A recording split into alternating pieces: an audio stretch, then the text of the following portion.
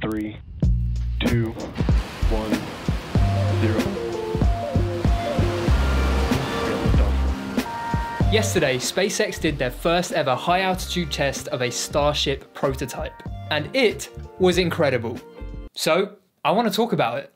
I'm going to talk about what happened, why it's important, and what is next for this incredible spacecraft. I'll put timestamps down below so you can either watch the whole thing or just jump to whatever section you are actually interested in watching. Okay, so I know a lot of you already know a lot about Starship, but for those that need it, here's a quick 30 second recap of what Starship even is. Okay, 30 seconds on the clock. Let's go. Starship is SpaceX's answer to affordable access to space and interplanetary travel. It's the first true attempt at a spaceship to take humans to Mars and further from home. Its design has changed multiple times, but right now it's made up of two stages, the Super Heavy rocket and the Starship spacecraft, which together will be the most powerful launch vehicle ever made. Thanks to the Starship being powered by six Raptor engines and the Super Heavy booster being powered by around 28. Oh, and they'll both also be able to land and be fully reusable, which is the first time that's ever been done. But if you want to learn more about some more specific details, I'll make sure to leave some great links down below from people like Everyday Astronaut and Marcus House, so you can do just that. But just keep in mind that this thing is big. Altogether as tall as an Airbus A380 and a Boeing 757 stacked on top of each other.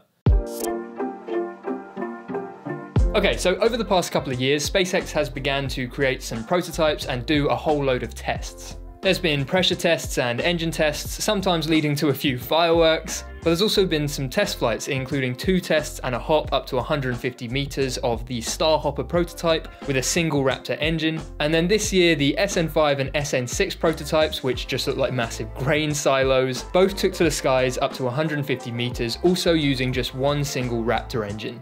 Which brings us to SN8, or Snate, which is the first prototype to have three Raptor engines strapped to it and the first to have its nose cone and four aerodynamic fins attached. After some successful and one not so successful test fires of the engines in October and November, it was ready to take to the skies. And then after multiple reschedules and two aborted test flights later, it was actually ready to take to the skies. So, the Starship SN8 prototype fired up its engines at 10.45pm UTC on the 9th of December 2020. And amazingly, this behemoth left the ground and started climbing. And just to remind you, this thing is the size of a 15 story building. Now after 1 minute and 44 seconds, one Raptor engine shut off, followed by the second at 3 minutes 14 seconds after launch. And this was probably kind of like a throttle down to control the amount of power that was actually pushing this rocket higher and higher. Then at around 12.5 kilometers in altitude at 4 minutes 40 seconds after launch, the third engine shut off and the rocket's fins changed angle to flip it onto its belly to start what's called the belly flop maneuver. It coasted down towards the ground like this until two Raptor engines fired back up and gimbaled to force the rocket back to an upright position. Then it went for landing with those two Raptor engines firing to slow it down. At which point, at least one of the Raptor engines started to emit a green plume and the Starship hit the ground and exploded in a massive fireball.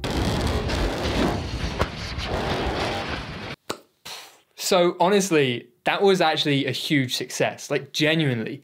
And that was probably one of the most incredible things I have ever seen. Here's a little clip of my reaction to prove that. Oh my god. Oh my god. It's gonna work. Oh my god!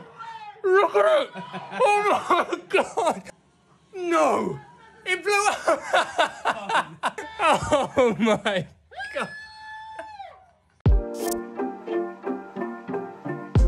So according to Elon Musk, the pressure in the fuel header tank was too low for the landing burn to work correctly. So essentially the Raptor engines couldn't generate enough thrust to slow SN8 down enough before making contact with solid ground, which led to the big boom. It's possible that the green flame is also explained by this, with the fuel tank issue leading to the engines basically destroying and eating themselves. So that green flash could be from like engine components that are made from copper that are just burning up. Okay, so why is this such a huge moment and why is a test that ended in a massive explosion actually a success?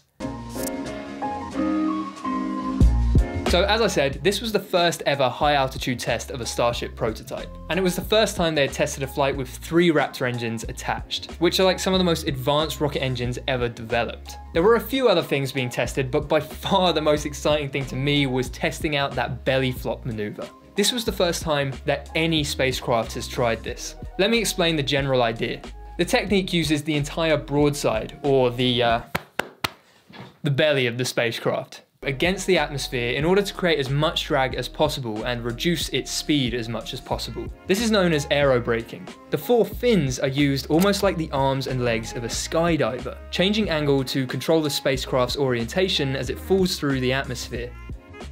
And then it fires up its engines in the final moments to perform an upright flip so it can land on its legs. And this is going to be a crucial process to work in order to be able to actually land on Mars, which as we know, this is what Starship is really being built for. But if you want to learn more about the process in more detail and like why it's really needed and potentially some alternatives to it, I'll make sure to leave some links to some really great videos explaining those things down below in the description. But how incredible did that whole maneuver look? When that third engine shut down and those flaps started doing their thing, I went pretty nuts. And then watching this huge vehicle just float down, almost like a blimp, was just one of the most surreal things I've ever seen. So massive congratulations to everybody at SpaceX because they have just made history yet again.